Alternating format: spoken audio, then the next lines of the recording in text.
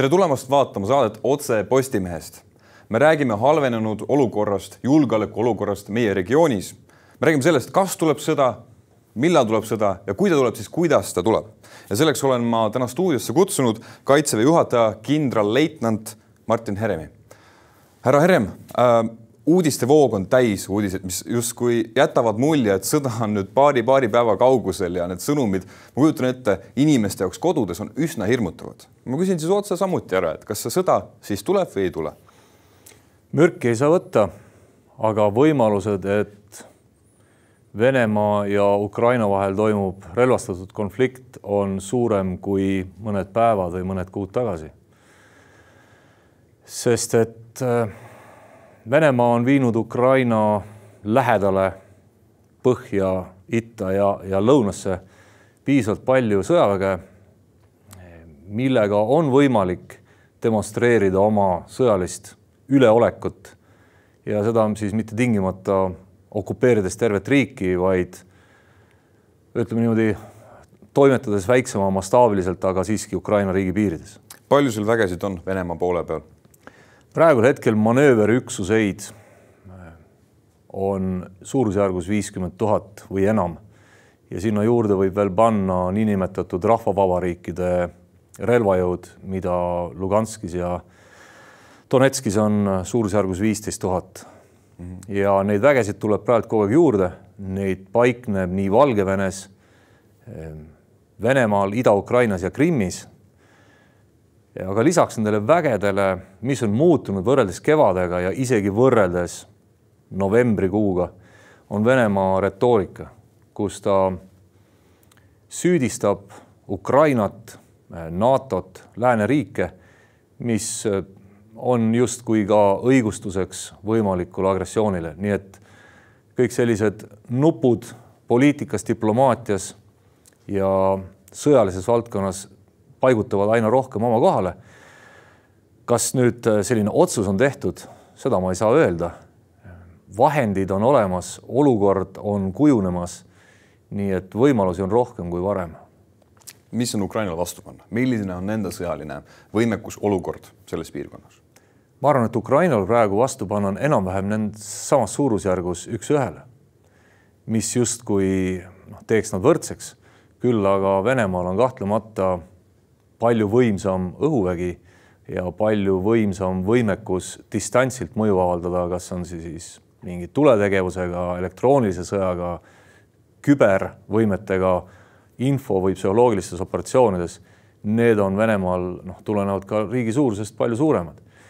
mis teeb olukorra keeruliseks, on see, et Ukraina täna ei saa kindel olla, kas tema riigi piiri ületamine Venemaa relvajõudude poolt toimub põhjast, idast või lõunast, nii et paratamatult äh, ühel demokraatlikul ja ennastkaitsval riigil ei jää midagi üle, kui reageerida.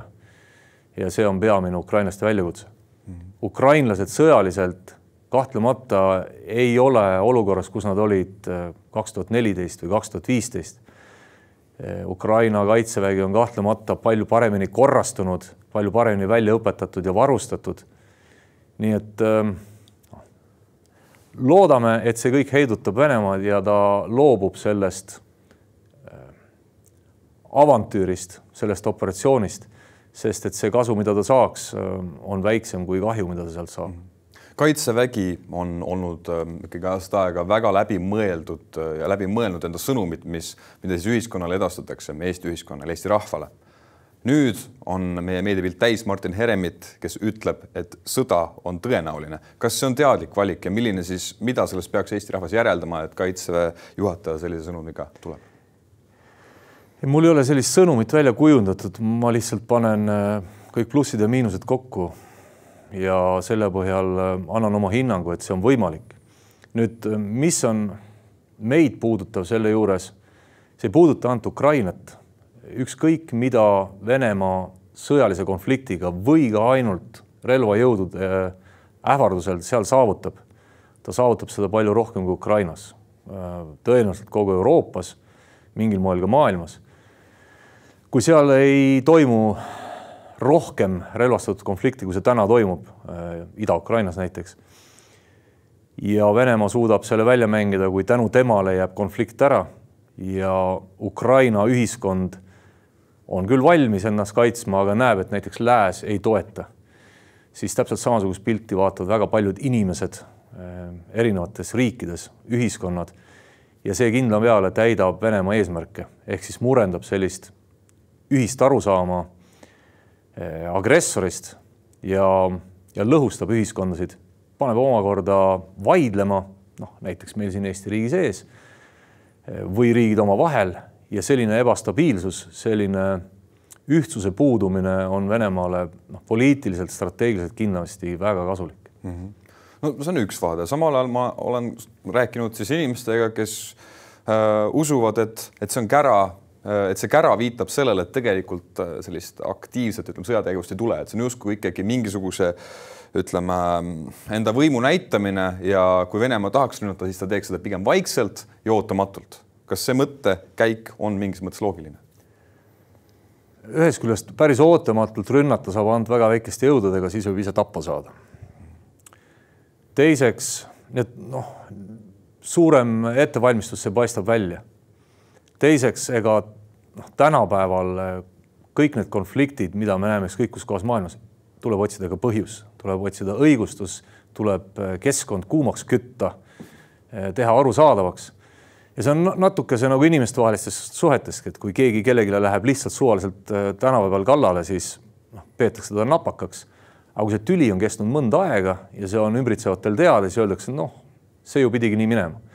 nüüd mina ka ei ütle, et läheb. ma ei, ma ei saa seda ennustada, ma lihtsalt ütlen, et see on võimalikum kui kunagi varem.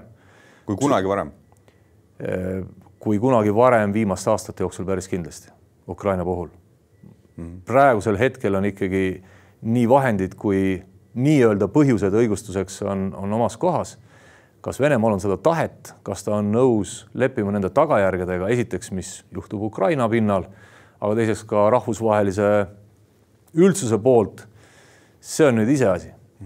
seda, seda on raske ette arvata. äkki see kära ikkagi tõstab lihtsalt Venemaa sellist äh, positsiooni ja panuseid läbirääkimistel nagu aina kõrgemale? kahtlemata see on üks eesmärk, aga see on ka pikemas perspektiivis.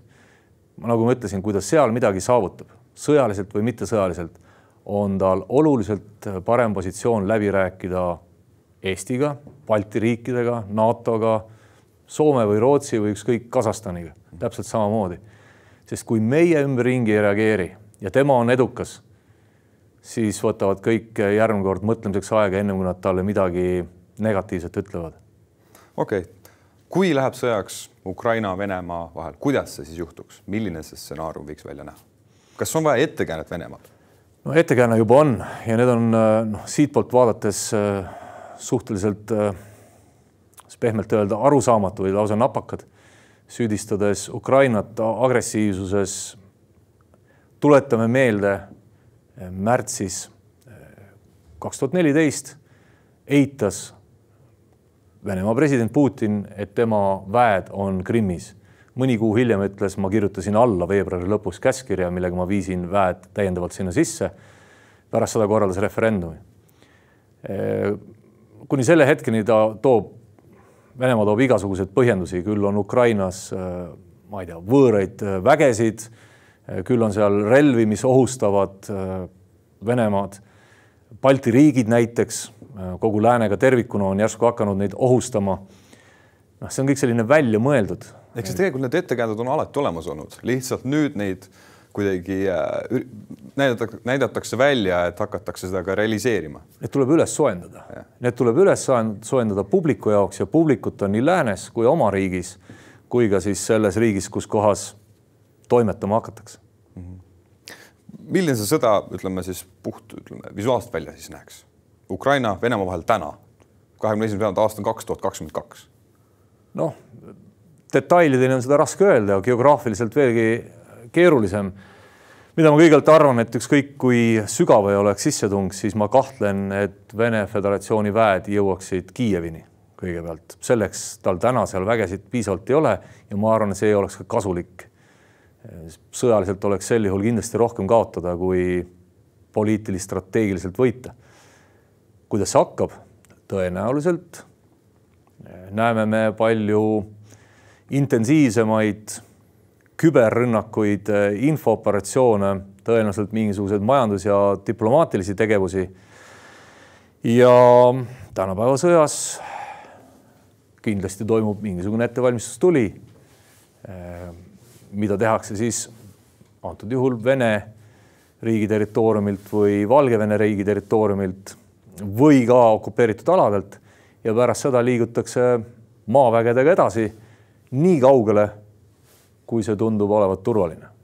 ja pärast seda asutakse kaitsele, olles siis kas tekitanud märkimisväärseid kahjusid Ukraina vägedele või ollakse saavutanud geograafiliselt mingi märkimisväärne maa-ala, mille üle pärast oleks võimalik kaubelda või mille pinnalt oleks pärast võimalik näidata ja demonstreerida teistele riikidele, kaasa arvatud meile, et Venemaa on võimas ja õiendab oma asju oma kombel.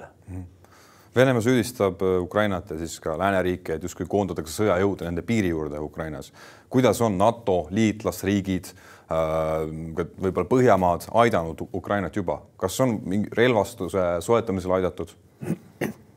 sellisel pehmemal tasemel on lääneriigid, kaasa arvatud Eesti me oleme kõik Ukrainat toetanud, me oleme tegelenud väljaõppega, me oleme jaganud oma teadmisi ja informatsiooni. Ukraina riigi sõdurid on käinud Eestis äh, taastusravil, äh, meditsiini väljaõppel, äh, keele väljaõppel.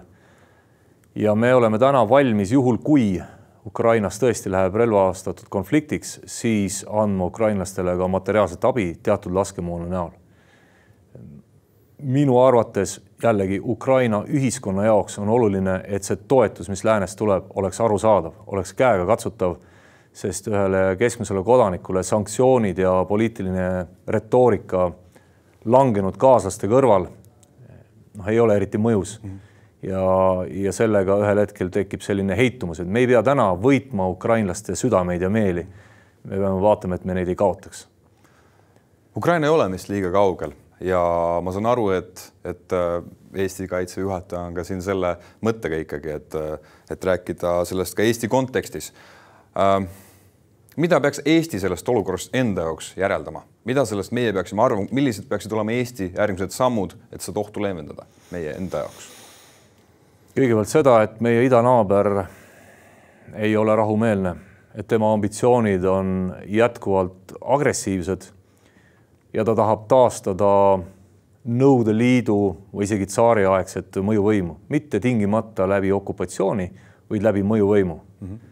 sest et äh, mõjuvõim on palju odavam kui okupatsioon. seda esiteks.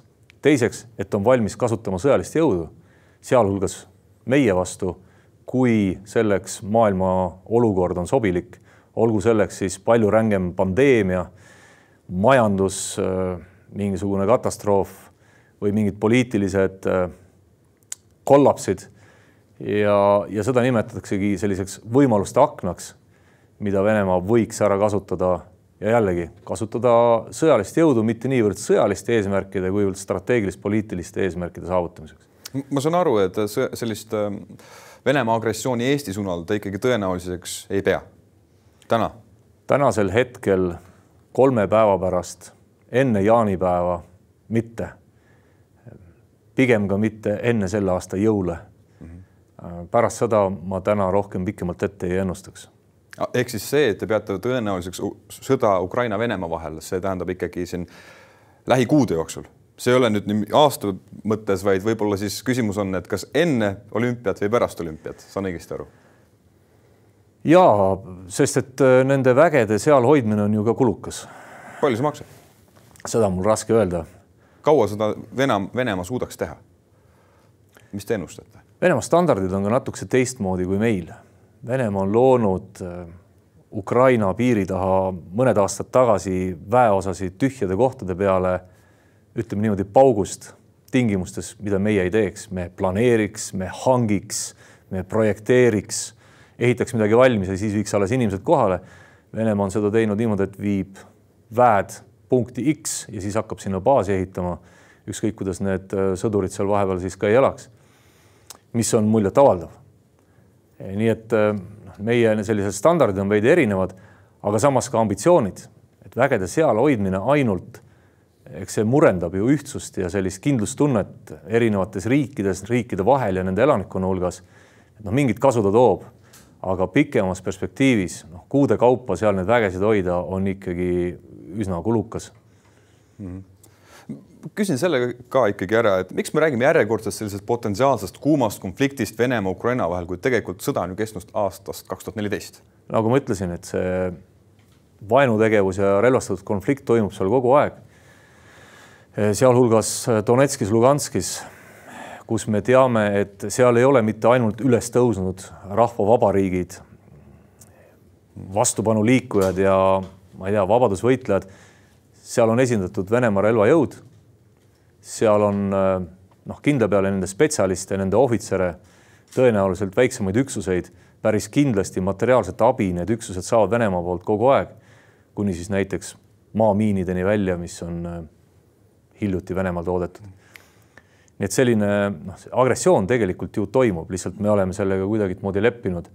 ja minu jaoks on küsimus, kas me lepime ka järgmise sammuga ja millal me ükskord oleme valmis leppima sellega, mis hakkab toimuma meie piiridel kuidas peaks suhtuma Rootsi otsusesse lasta sõjaväelastel siis patrullida Gotlandi saarel, et kas olukord on tõesti nii hull? et ka rootslased justkui ikkagi juba nähtavalt valmistuvad mingisuguseks olukorraks?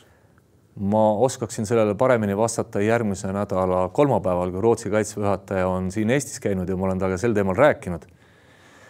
Rootsi kindla peale demonstreeris äh, oma otsustavust ja võimeid äh, väga väikesel määral, aga siiski oli see sõnum, et ta ei kavatse ühtegi oma territooriumi tükki niisama hooletusse jätta ja võimalik agressor peab sellega arvestama. ja kindla peale ta ka harjutas vägede viimist ühest kohast teise. ma ei saaks öelda, et ähm, kui siin ajakirjanduses on ka toodud Vene mereväe aluste liikumine Läänemerel, et see kuidagi eraldi oleks selle välja kutsunud, sest need laevad siin noh, pigem tulidki transpordi eesmärgil, võttes peale mingisugused varustuselemendid ja viies need Läänemerelt hoopiski minema oletame, oletame, selline halb juhus siis juhtub ja, ja see kõige halvem saab teoks, et Eesti ja Venemaa vahel puhkeb konflikt, siis millised oleks esimesed sellised sihtmärgid Venemaa poolt Eesti suunas? Üsna kindlasti sõjalised objektid, meie laod ja väeosad. miks Ämari? Ehm, Ämari, Tapa, me võime need kõik kokku mm. lugeda Need päris kindlasti. teiseks tõenäoliselt meie liikumisvõimalused, ka need, mida mööda me oma liitlasi sisse tooksime, aga see teisejärguselt ja, ja siis alles väga kuskil väga kauges tagumises otsas oleks see midagi, mis puudutab äh, tsiviilelanikkonda, mida ma noh, pean väga vähe tõenäoliseks, sest seda Venemaal kindlasti ei ole vaja mm. -hmm. näiteks ka superministeeriumi taha vist on tulemas USA saatkond Äh, kas see võiks olla üks sihtmärkidest? saatkonna hoone purustamine võiks olla mingil moel sümboolse väärtusega, aga kas USA saatkond Tallinnas on mõistlik sihtmärk keset linna, selles ma kahtlen väga sügavalt. et see kindlasti ei oleks sihtmärk.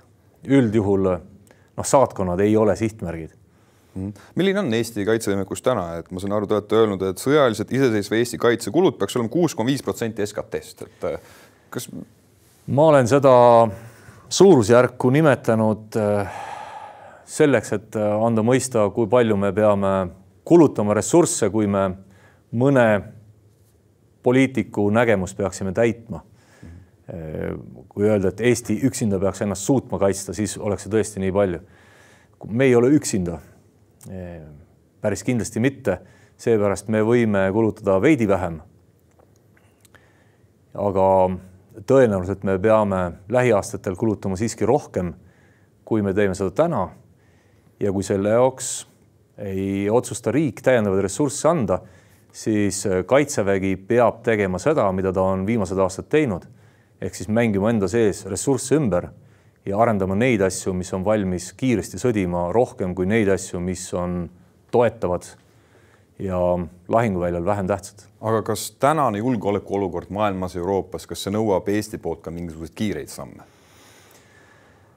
ja, ja neid kiireid samme me oleme tegemas, kui vaadata arengukava, siis järgmise kolme aasta jooksul kavatseme omale luua võimekuse, millega me ulatame kineetiliselt mitmesaja kilomeetri kaugusele. me oleme eelmisel aastal otsustanud ju tegelikult hankida meremiine, mis oli eelmise plaani täiesti väline otsus. ja noh, mõned asjad me oleme veel ettepoole toonud, me oleme praegult lükanud edasi mõningat taristu ehitust. täna just oli uudis, et Eesti ostab äh, tankitõrjerelvi, sealhulgas maakaitsele ehk siis Kaitseliidule, millest esimesed jõuavad kohale sellel aastal. Ma olen andnud nendest ressurssidest äh, kaugemale ulatuvaid ettepanekuid ka kaitseministrile, Vabariigi Valitsusele just nimelt selles julgeolekukeskkonnas. nii et nad on teadlikud ja eks nad peavad otsustama. millised võiks olla need sammud, äh, arvestades tänast olukorda äh, meie riigisiseselt või siis Ukraina suunas järgmise kuu, kahe, kolme jooksul? kõigepealt riik ja elanikkond peaksid tegutsema nii, nagu ta on iga päev tegutsenud. Meil on väga oluline, et meie riik toimiks nii, nagu riik toimib. mingit hüsteeriat meil vaja ei ole ja mingit paanikat ei peaks ka olema. see on kõige tähtsam mm. -hmm okei okay., hakkame natuke kokku tõmbama, et küsin ka seda, et mida on ja mida on Kremlil kaotada sellest äh, rünnakust Ukraina suunas? mida neil oleks kaotada? Neil on kaotada tõenäoliselt teiste riikide poolehoidu kõigepealt. Kui nad, kui neil ikkagi ei õnnestu oma ülekaalu demonstreerida, siis äh, võivad teised riigid vaadata, et Venemaa esiteks ei olegi nii tugev mm. -hmm teiseks võivad nad kaotada oluliselt oma riigi elanike toetust, kui nad ebaõnnestuvad seal ukrainlaste vastu. kui ukrainlased on näiteks sõjaliselt väga edukad. ja ma arvan, et selline toetus ja poolehoid oma riigis ja väljaspool, need on kõige suuremad kaotused, mida nad siin saada võivad ja see mängib kindlasti neile maksab kätte neile eh, pikemas perspektiivis mm. -hmm kui rääkida siis Venemaa presidendi Vladimir Putini persoonist, et ma saan aru, et see on, kuidas teie temast aru saate, millest ta mõtleb, millest ta unistab? Neid käike vaadates. see ei ole kindlasti minu eriala hinnata persooni, küll aga ma võin Venemaa sõjalist käitumist ja sõjakat käitumist hinnata. et paremini selgitada seda sõjalist eesmärki Venemaa huvi on olla tugev ja sellisel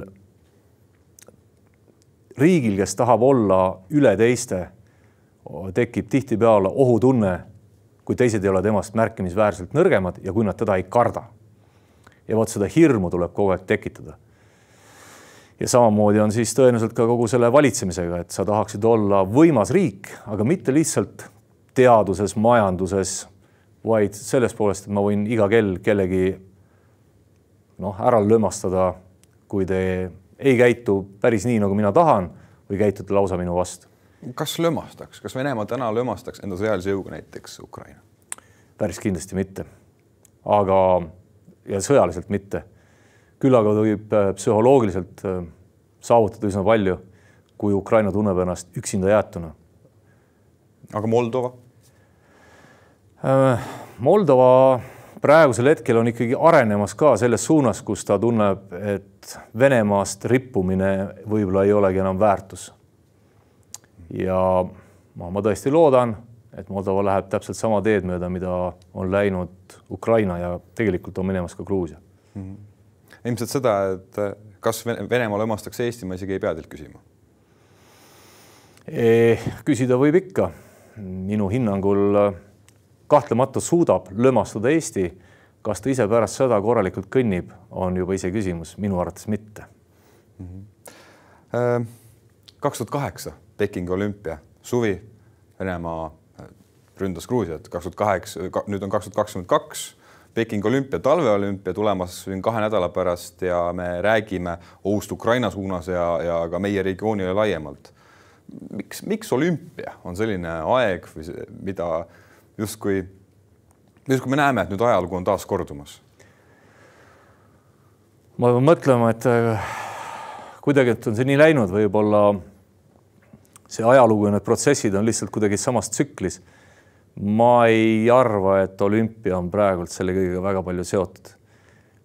kahtlemata, mida rohkem on midagi teoksil maailmas, seda mudasem on vesi, seda sogasem see on ja see agressorile alati sobib väga hästi, siis saab varjata ennast teatud tegevuste toimingute taha.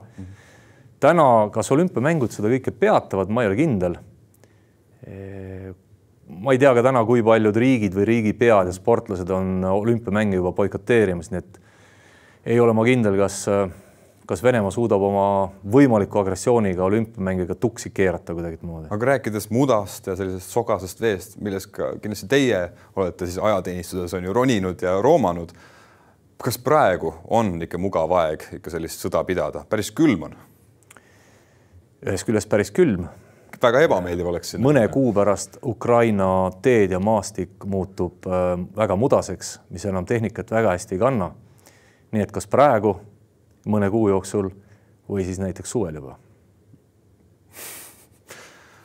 selge, aga aitäh teile täna eetrisse tulemast ja aitäh teile, kes te kõik seda intervjuud vaatasite äh,. ilusat päeva teile